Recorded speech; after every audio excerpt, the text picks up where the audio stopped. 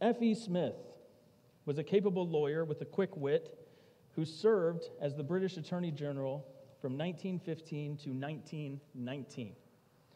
On one occasion, he cross examined a young man who was claiming damages for an arm injured that, that supposedly came from a negligent bus driver.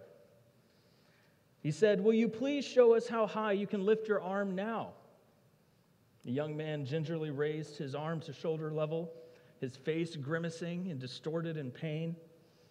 Thank you, said the lawyer.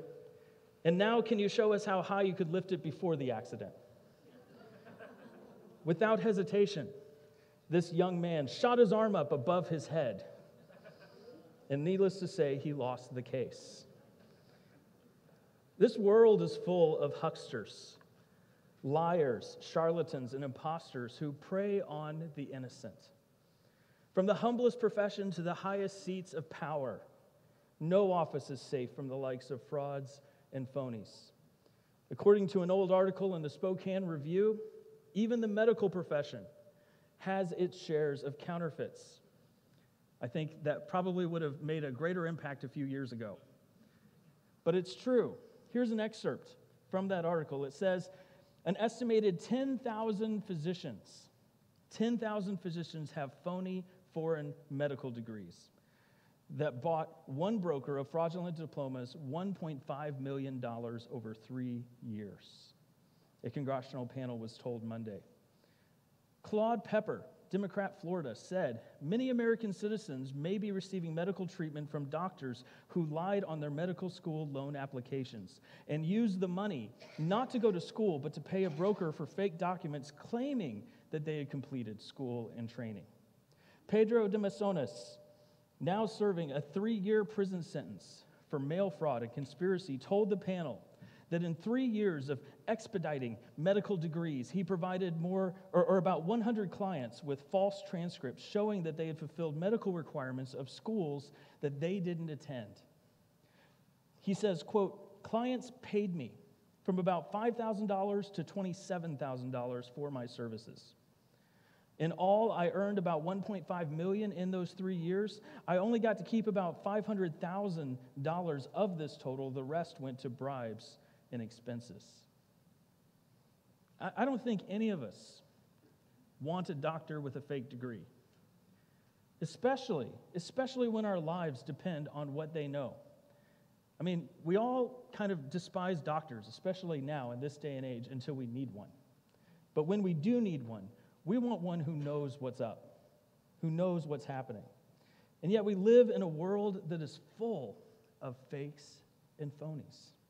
Liars, charlatans, imposters, they are everywhere, even within the church.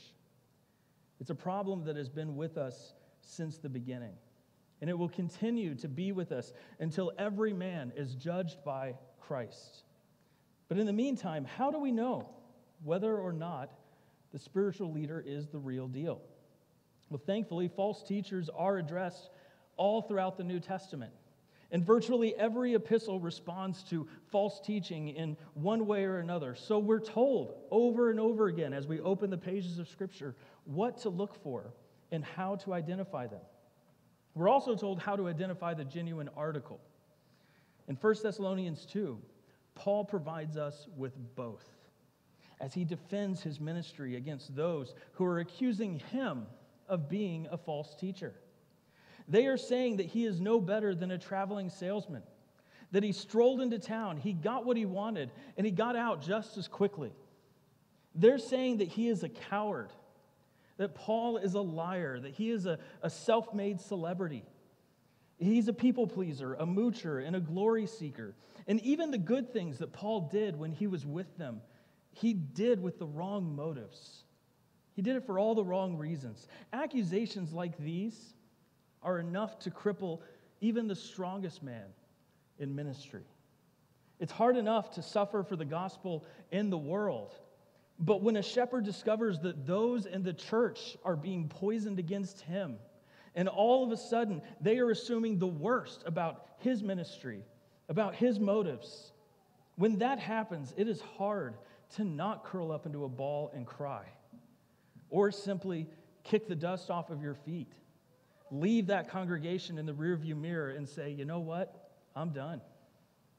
I'm done. That's fine. Maybe you don't need a shepherd. Have fun with the wolves. That's a real temptation. A real temptation. But you see, the real shepherd doesn't do that. He doesn't do that. Instead, he, he, he stands up for the truth and he corrects the error. He doesn't hide under the covers, and he certainly doesn't abandon his post. That is exactly what Paul models for us here in this text. He stands for the truth, he corrects the error in 1 Thessalonians chapter 2. He defends his ministry, and he shows us exactly what it means to be a genuine shepherd. Please follow along as I read the introduction to Paul's defense, starting in verse 1. He says, For you yourselves know, brothers, that our coming to you was not in vain. But though we had already suffered and been shamefully treated at Philippi, as you know, we had boldness in our God to declare to you the gospel of God in the midst of much conflict.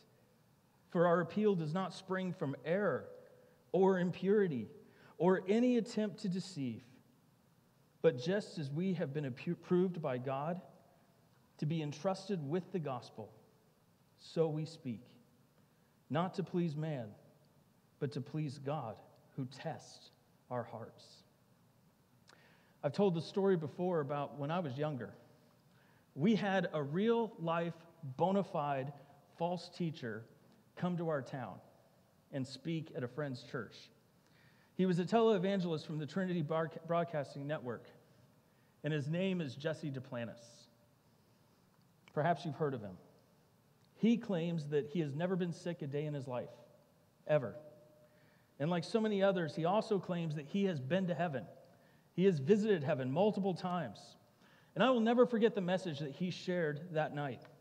He spoke about something that he called genetically altered Christianity. He kept waving his hands in the air and screaming things like, You don't dare accept suffering when it comes. You're a child of the king. You should expect great things. I mean, this world is full of weak and humble and, and pitiful Christians who take their lashings on the cheek and then they turn around and they give all the glory back to God. But, friends, that is not real Christianity. That's genetically altered Christianity. I mean, you're not called to suffer. Why would God call his children to suffer? You have been appointed to rule. And he just kept yelling things like that over and over and over again. Sadly, the suffering people who were there that night, they ate it up. They loved it. At one time, he even begged the question. He said, What are you going to do when you get to heaven and you see what the streets are made of? What are you going to do? Are you going to shake your finger at the Lord and say, uh uh-uh, uh, nope, nope, Jesus, that's not right. That's not right. Those streets should not be made of gold. They should be made of something more humble, more pitiful. No, of course not, because you're a child of the king.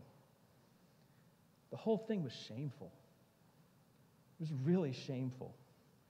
After setting the bait, he then brought it home. He finished with an emotional fundraising campaign. He told us that we needed to replace his private jet with a Boeing 747. He said that the Lord wanted him to take more people with him on his crusades. Wouldn't it be wonderful if right there in Terre Haute, Indiana, if we could all pile onto a plane, fly up into the air, drop down in Kansas, have a revival, and then make it back home in time to go to work the next day? I remember him saying that and thinking, what's the point in that? Why would we go to Kansas? Indiana's bad enough. I mean, maybe that's why. Maybe they need the gospel too. Who knows? But either way, it was bizarre. Obviously, he needed a bigger plane, though. And that's how the gospel works. Not the gospel, but the prosperity gospel. This so called preacher, what they do in this, in this system, in this prosperity system, is they, they teach that Jesus will heal you and he will bless you. And, and all you have to do is step out in faith and sacrificially give them your money. So you give what little you have, and you hope that the Lord will multiply it, like the loaves and the fishes, and something about locusts in the Old Testament. I don't know, they have their proof text. but you give what little you have, hoping to see it multiplied. And then the huckster takes your money and he uses it to fund his higher life. That higher life then becomes evidence that his false teaching is true. And the cycle repeats itself. After all, God has blessed them. So why wouldn't he bless you too? Perhaps the most famous name in the prosperity racket is Benny Hinn. I watched him a few times as a kid. I remember him holding his hands out to the camera on the TV. Now, this is long before flat screens on our CRT television. He would hold his hands out to the camera and he would ask people to place their hands over his on the set to receive their healing.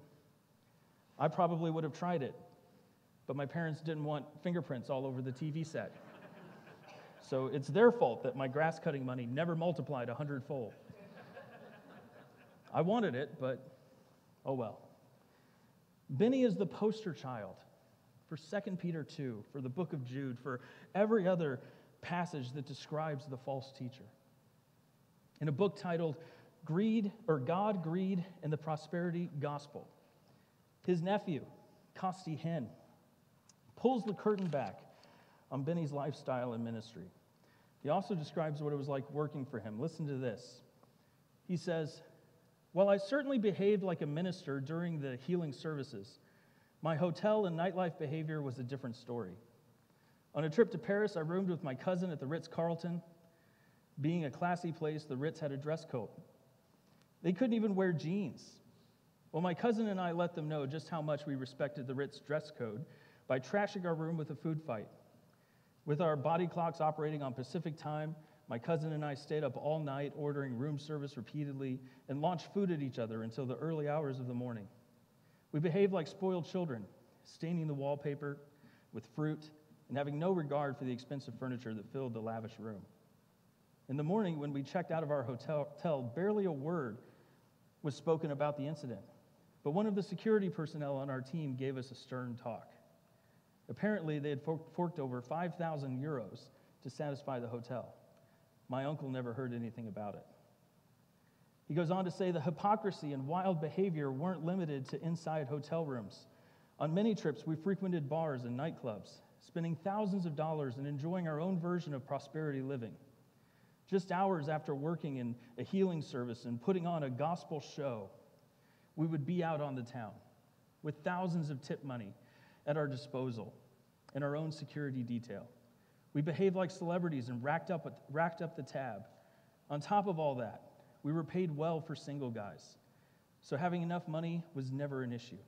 Of course, this behavior served as evidence of our phony Christianity, but we just felt like we were blowing off steam. Thankfully, since then, Costi has gotten saved.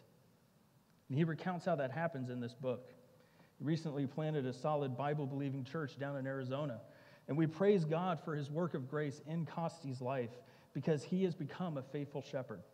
He has spent years developing and doing all the right things in order to bring him to this point, and God has worked a tremendous thing in Costi's life. Unfortunately, his faith healing uncle is still out there, swindling people out of their money.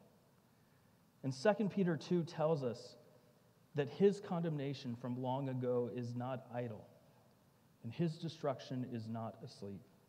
In fact, 2 Peter 2:17 says that false teachers are waterless springs and mists driven by a storm.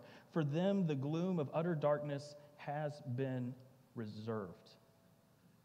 In other words, God says, I've saved a table for you in hell, and you are going to pay for what you have done to my people. He goes on to say that such men are liars here in the Word of God. In 2 Peter 2, he says that they are greedy, they are blasphemers, that they prey on the weak and they live for themselves. They are full of hot air, they pollute the waters of truth with destructive heresies. The Bible calls these men irrational animals and creatures of instinct who are born to be caught and destroyed. In other words, the false teacher might appear to have it all together today. They might be living their best life now. But, church, the day is coming when they will regret the damage they have caused. Contrast the Bible's description of a false teacher with that of a faithful shepherd, like we see in the Apostle Paul. Here is a man who speaks the truth, and yet he is accused of lying. He's beaten within an inch of his life, and yet he is called a coward. He's accused of running at the first sign of danger, and yet he never stops preaching the gospel. Why? Because he's the real deal. He is a genuine shepherd. Last time, we saw how God expects his leaders to be both tough and tender. He is to be a gentle shepherd, yes, but he is also to be a German shepherd. In verses 1 and 2, we have four qualities of the enduring Christian leader. He must be candid, credible, consistent, and courageous. We noted that when it comes to the wolves, the world, and the worldly, you don't want a gentle shepherd. You want a German shepherd, one who will be bold. You want a shepherd with teeth, one who will face opposition and say the hard things that might even get him killed. That's the German shepherd of verses 1 and 2. Today, we're going to look at the genuine shepherd of verses 3 and 4. He says, Look, look, you know what false teachers are all about. You've seen them, you've experienced them. I've written about them. You know what they look like, but you also know that I'm not one of them. And so he reminds them of the facts. We have here two verses and two marks of a genuine shepherd. Now, in the, in the spirit of full disclosure, I have to admit, we're not going to get to verse 4 today. It's not going to happen. As I was preparing this message this week, I had every intention to cover both marks and both verses. As you can see there in your sermon sheet, just ignore the last or the, the back side of the page. Because I, as I started to work my way through verse 3, it became clear that I had a hard choice to make. I could either make this a really, really, really long sermon and apologize to the children workers again, or I could break it up into two messages on the shorter side and become a hero to all. so, after a pregnant pause of deep introspection and a quick prayer, I decided to break it up. We're going to look at verse 3 today. Does that get an amen from someone, by the way? Okay. So today, they told us in school no one will ever crucify you if you let them out early. So hopefully that's the case. Today, we'll slow down and we'll focus on just the first mark the genuine shepherd in verse 3. Next week, we'll tie it all together with verse 4. So, what is the first mark? What is the big idea for this verse? The one truth that I hope you walk away with today? It's simply this the German shepherd ministers with integrity. He ministers with integrity. That's what verse 3 is all about. He says, For our appeal does not spring from error or impurity or any attempt to deceive. That word appeal, it's a very broad term. It encompasses everything verbal that Paul and his fellow missionaries brought to them. It certainly includes the preaching. We know from chapter 1 that their preaching was effective, that it was full of power and the Holy Spirit. But this appeal also goes beyond proclamation. It's an encouraging exhortation, yes, but it is also used all throughout the New Testament for pastoral ministry in general. It is synonymous for that. It is the act of verbally bringing God's word to bear on God's people when they need it. So, this word appeal, it, it's simply a summary of Paul's ministry as he proclaims the gospel, but also as he shepherds the church. And he describes that ministry with three things that he doesn't have. He says, My message and my ministry, they are not known for error, impurity, or attempts at deception. Let's look at each of those, every one of these denials, one by one. But as we do so, let's flip them around into positive statements that do describe the genuine shepherd. If Paul is a true shepherd, and he says, Here are the things that I am not, what does that tell us about what he is? Well, to begin with, he says that he has the right message. He has the right message. He says his appeal does not spring from error, meaning that it springs from truth. It's not mostly right, it's not 98% right. No, it's absolutely right. He is not wrong about this. This word error, it's a very illustrative word. It literally means to wander from the path of truth. To wander from the path of truth. It carries this idea of straying, of meandering, of drifting away. It is a state of departure from a standard of truth. In Jude 13, this word is used to describe false teachers, saying that they are wandering stars. They are stars who have spun out of orbit, they have lost their way. Listen, the genuine shepherd, he doesn't stray to the left or to the right. He doesn't try to improve on the gospel message. He doesn't add to God's word, and he doesn't hold back from saying what it says or soften his tone. Instead, he speaks the truth. He speaks the whole truth and nothing but the truth because he realizes that it's not his message to begin with. Let's peek ahead to the beginning of verse 4. What does he say there? He says, But just as we have been approved by God to be entrusted with the gospel. This wasn't something they discovered, it's not something they made up for themselves. They didn't form a think tank or take a poll or strategize for the most effective methods of reaching the lost.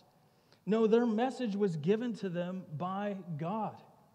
He entrusted them with the gospel, meaning that their words came from Him. We see this all throughout the New Testament. In 1 Corinthians 11 23, Paul says, For I received from the Lord what I also delivered to you. In other words, I'm just the middleman. I'm the messenger. I received it, and all I did was bring it to you.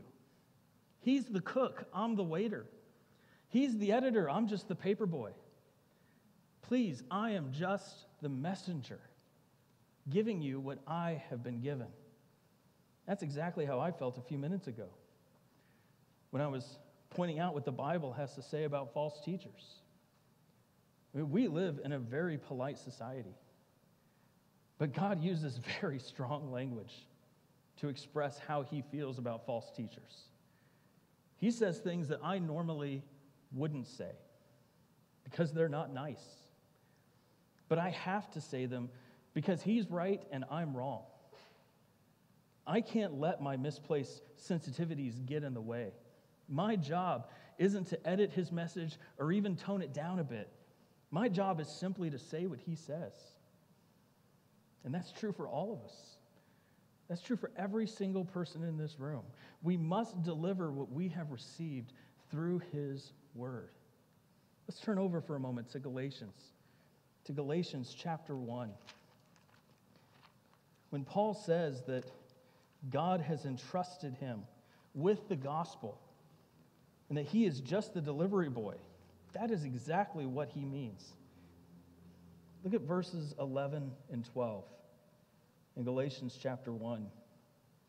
He says, For I would have you know, brothers, term of endearment, but at the same time, I want you to know this that the gospel that was preached by me is not man's gospel. For I did not receive it from any man, nor was I taught it, but I received it through a revelation of Jesus Christ. He's saying the content of my preaching, it doesn't come from the word of man. It comes from the word of God. I remember thinking as a kid that I could never ever grow up to be a preacher. I didn't know what I was going to be, honestly, like most people. As a little kid, I was like, I love Mario Brothers. Maybe it'll have something to do with video games. Eventually, I got into programming. It's like, nope, that's not it. God has certainly not called me to that. I thought, well, I love music. Maybe it'll have something to do with the music industry. Nope, not what the Lord had. I really wanted to be a pilot. Problem is, I was, I was way too tall as a kid. I was huge. I, I think I stopped growing like the fifth grade, if that gives you any idea. So I remember thinking, I'm going to be too tall. I'm going to be six foot seven. That's what they're predicting. I could never become a pilot. That my eyesight is bad. They haven't invented LASIK surgery yet. It's like, what? I, I just, I can't do it. I can't do it. So the Lord just kept crossing things off of my list as a kid. But one thing I knew anytime, whenever I thought, eh, I could be a preacher, immediately dismiss it. I could never become a preacher. Why? Because I couldn't imagine having to come up with new material week after week after week. The pastors I grew up listening to, they were all creative in all the wrong ways. They'd preach messages about how geese would fly in a V formation and how we needed to encourage our leadership by, by falling behind them in a V formation and honking to encourage them and let them know that we're behind you, Pastor, we're behind you. I remember that very vividly.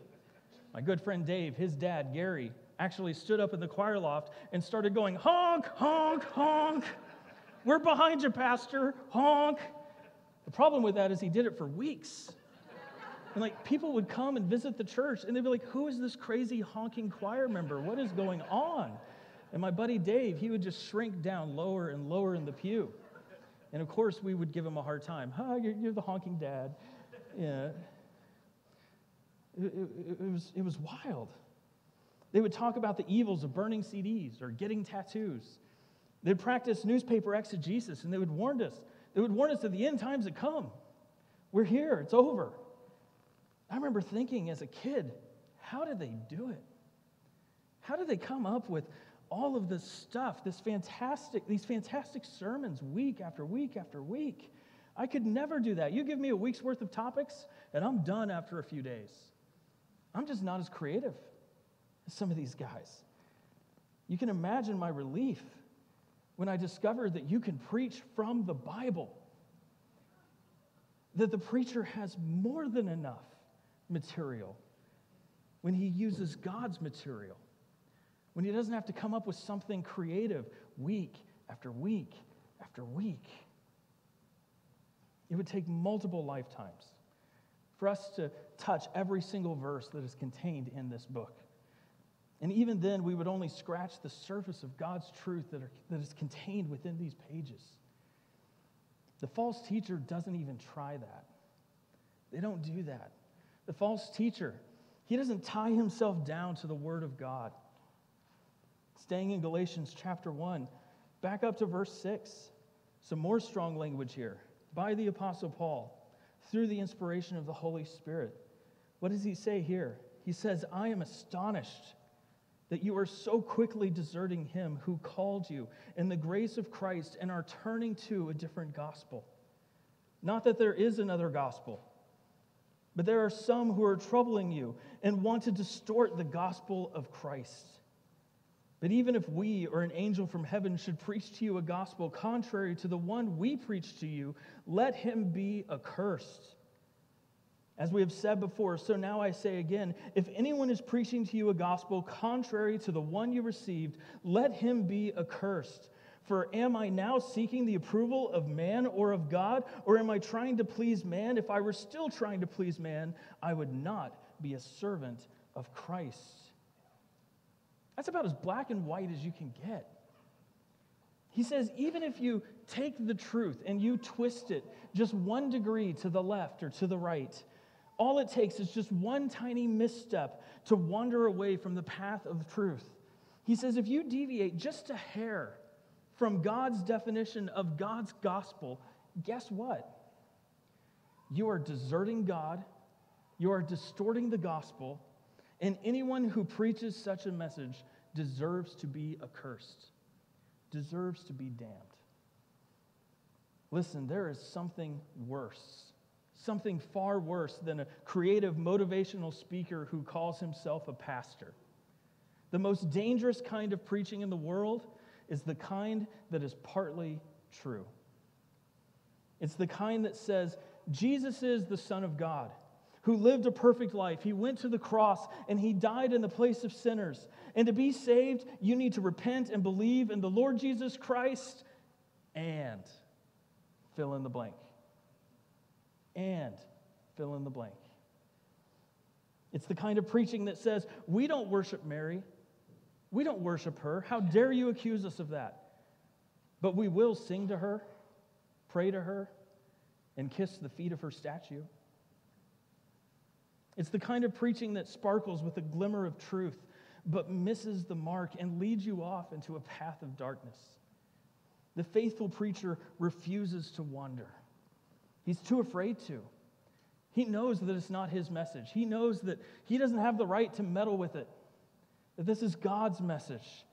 The faithful preacher understands that he will someday stand before him and give an account, that those who teach will be judged with greater strictness. The faithful preacher refuses to wander, he's too afraid to. So he chains himself to God's revelation. He has the right message. That's number one. Number two, he has the right motivation. The right motivation. Paul says, Look, our appeal doesn't come from error, but it also doesn't come from impurity, meaning that my heart is in the right place. The word for impurity here, it's a compound word, familiar word. It's catharsis with the prefix a in front of it, meaning without. So, no catharsis, without catharsis. If catharsis means to purge and to clean, and even though the word has changed and developed in its meaning over the years, it, it really hasn't strayed too terribly far from what it meant back then, then akatharsis means the opposite of that. It means to sit in your own filth. More specifically, here it is a state of moral corruption. It's the mess that is left behind from an unclean heart. Paul is saying, I'm not in this for the fame and I'm not in this for the fortune. I'm not in this thing to make a, a name for myself. And you know that that's true. We all know that that's true. Why? Because Paul was very good at being hated. Very good at it. As you read through the book of Acts, you begin to wonder was there ever a town that didn't beat Paul or arrest him or run him out of town? If Paul was in it for the glory, he messed up big time. Big time. You see, there were those in his day who would travel from town to town, and many of them would do something similar to what Paul did. These traveling teachers, these impressive orators, they were called the sophists. And they made their living with their words. They would gather disciples, they would secure a venue, they would send them out ahead of time and send out invitations so people would know that they were coming. And then once they arrived, they would impress the crowd with an impassioned display of public speaking. Essentially, the sophists were the Roman Empire's equivalent of Twitter or Facebook. They were the top influencers. They were the, the ones with the check mark next to their name. They were the social media posters of the day. Back then, the people didn't have the nightly news, and they certainly didn't have the internet to help keep them connected. So they relied on these sophists to, to impress them, to entertain them, but also to keep them up to date with what was going on in other parts of the world. It didn't really matter if all the facts were right or not, so long as everyone was entertained and they walked away feeling good about themselves. They wanted to walk away feeling enlightened. They didn't know this before, but now, now that this has come across their feed, oh, I know more than, more than other people do. I know what's really going on. Why? Because I didn't miss the sophists. I caught it. It's really all that mattered. The good ones were well paid. They became teachers. They would take in students and train them in the art of public speaking. So the greatest lawyers, the greatest politicians and actors, they would study under the most winsome and the most well-known sophists. Again, the only thing that mattered was perception.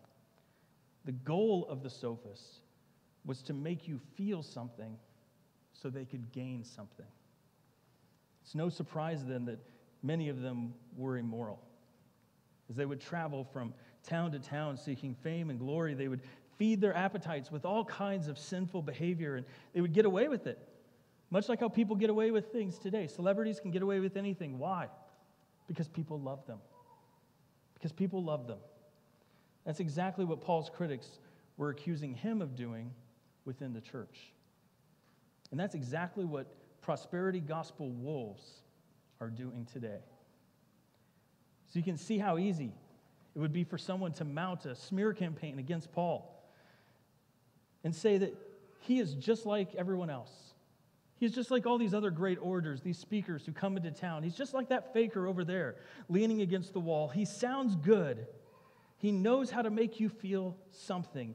But even when his message is right, he's speaking from impure motives.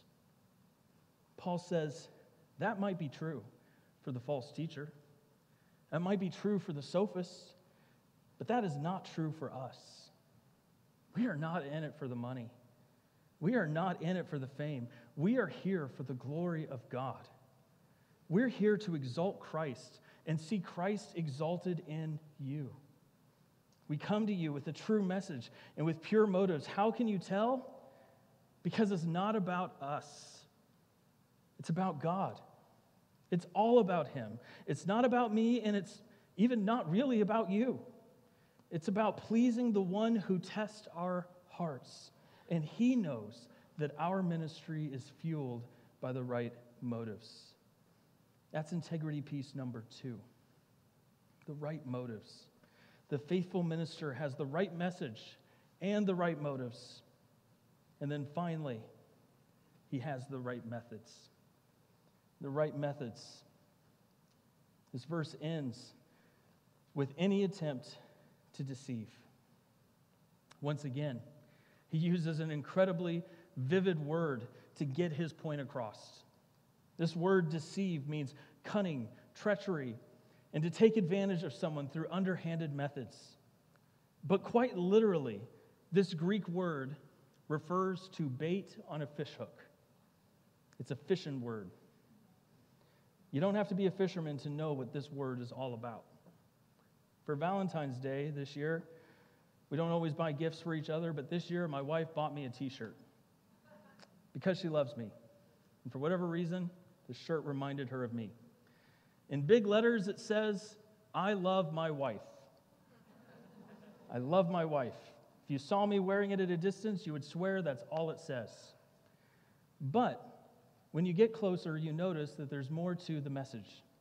In tiny print between each larger line, it forms a new sentence that says, I love it when my wife lets me go fishing. It's a fun shirt because it promises one thing at a distance, lures you in, and then flips the script as soon as you come, come to it, as soon as you get there. However, there is nothing cute and playful about a baited hook, especially if you're a fish. Think about it for a moment. There you are, a fish. You see something shiny, delicious, and satisfying. And you think to yourself in your tiny fish brain, I want that. It's something that promises a full belly and a better life. And all you have to do is open your mouth and eat. Grab it, take it for yourself. Today is your lucky day. It is being offered to you free of charge.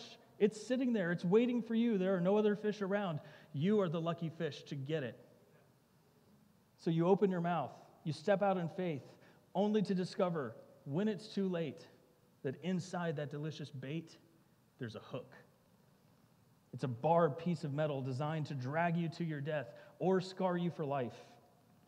It's a vivid picture for the manipulative techniques that the sophists and the false teachers would use against their victims. They were known for stirring up the crowd, for creating an experience and luring the people into giving them all of their glory, their power, and their cash. And friends, it is the same thing today. It has not changed at all. The worst of them are two bit con men who know exactly what they are doing. The best of them are deceived themselves. And they refuse to acknowledge the truth while they continue to live for themselves because they can't see past themselves. Regardless, they dress their lies with attractive colors while hiding the hook inside that will drag people to hell. Paul says, that is not what we are all about. That is not what we're all about. He didn't spend 30 minutes singing, 20 minutes preaching, and another 30 minutes yelling for folks to come down to the altar. He didn't finish his sermons with, At this time, I want to ask the musicians to come forward and make their way to the stage, heads bowed, eyes closed, no one is looking around. I'm going to count to three. I know it's lunchtime, but that gnawing in your gut, that's the Holy Spirit. Don't deny the Holy Spirit today. I'm going to count to three. No one is looking around. One, one, this is for you. This is for you. If you have lusted for, for someone of the opposite sex in your heart in the last 15 years, I want you to come down to the front. This is for you. I'm talking to you. Two, two. No, that's not how he operated. That's not what he did. He didn't manipulate them, he didn't look for decisions. He didn't promise them a way out of poverty, take a collection, and leave them to die. Instead, he preached the gospel of God for the glory of God. And then he stood back and to, to watch God work in their hearts. That's what he did. That's to say, he ministered to them with the right message, the right motives, and the right methods. In a word, he ministered to them with integrity. With integrity. He didn't doctor the message with impure motives. He didn't dress it up with clever tricks and gimmicks.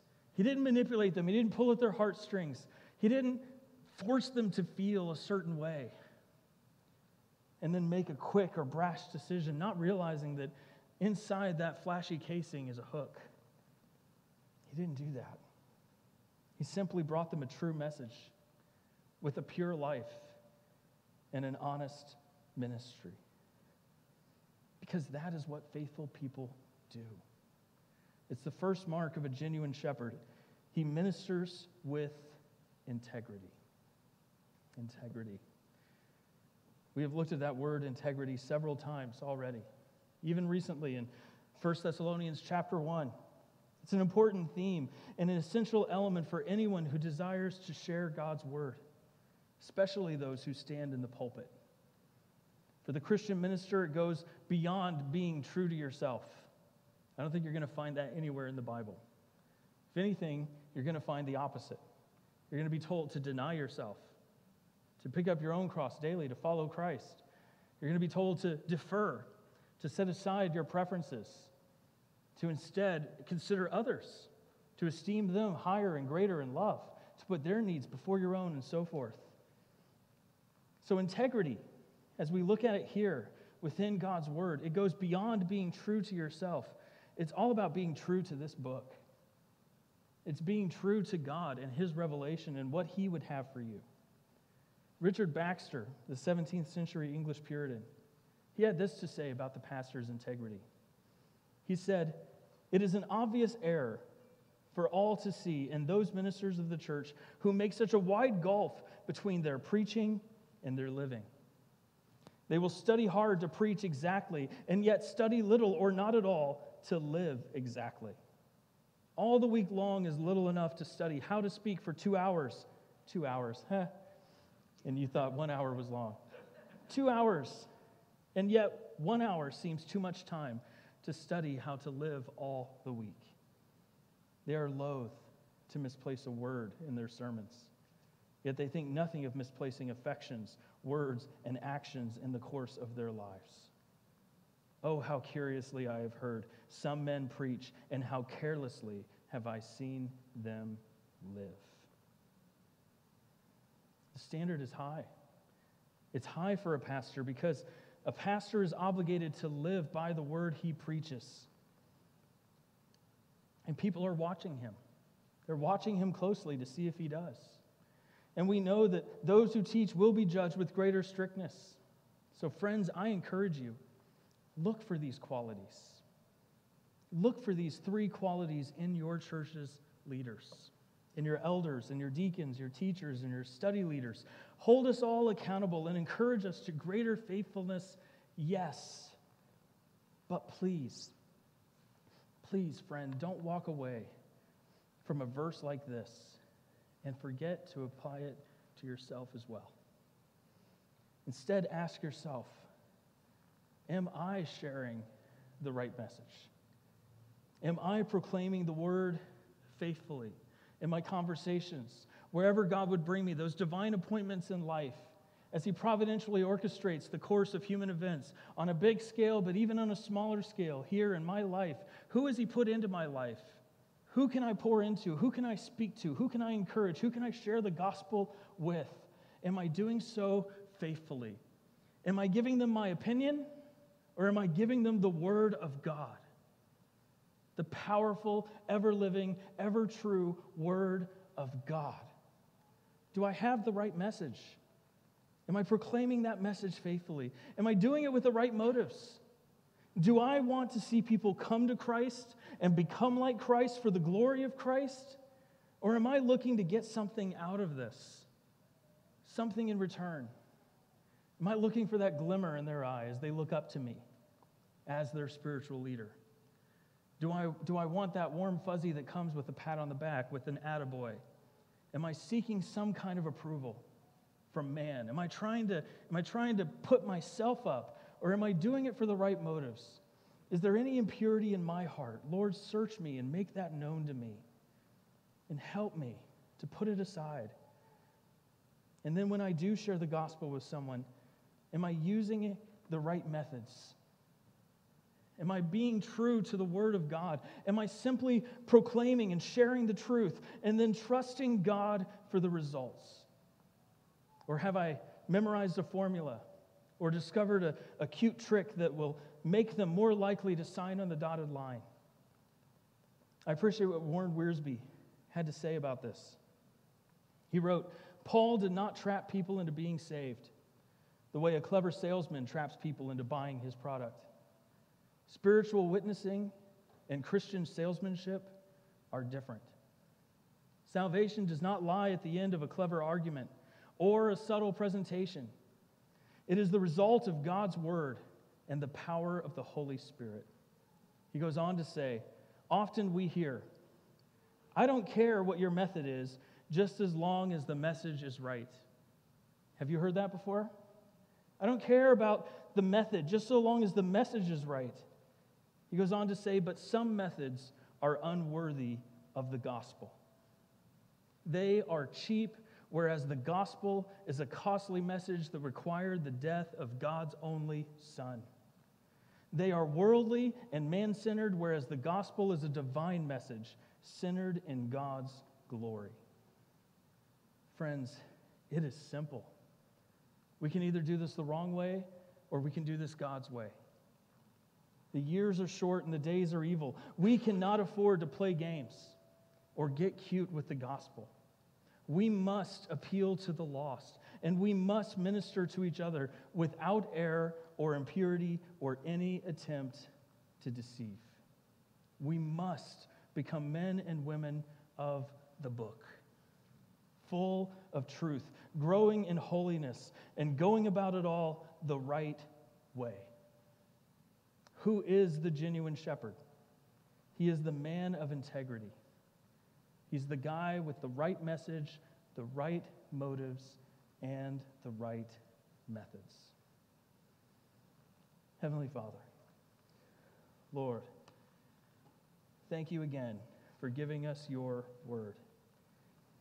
Lord, we read about these churches in the ancient world and all of the struggles, the pains, and the heartaches they went through, both from without and within. And our hearts break for them on one hand to see so many brothers and sisters in Christ suffer with broken friendships, lost relationships, with false teachers muddying the waters of true doctrine. Lord, it grieves our heart to read about such things. And yet, on the other hand, we are so thankful that these things happened. And now we benefit thousands of years later through your holy word. Lord, we see these things for what they are. God, I pray that you would continue to work within us, continue to bless this fellowship. Lord, if there be any impurity in us, Lord, make it known to us. Humble us break our hearts before your holiness, before your perfection. Show us where we fail. And then, Lord, work within us to, to build us up, to strengthen us, to encourage us. I pray that each and every one of us would humble ourselves so that you would be the one to exalt us. God, thank you for this word. Thank you for giving us the right message. Thank you for giving us your word, and thank you for filling our hearts with the right motivations. All that's left is making sure that we are faithful to employ the right methods. God, it is all an act of grace. From start to finish, our job is simply to open our mouths to proclaim, to appeal, to provide the word that you have given.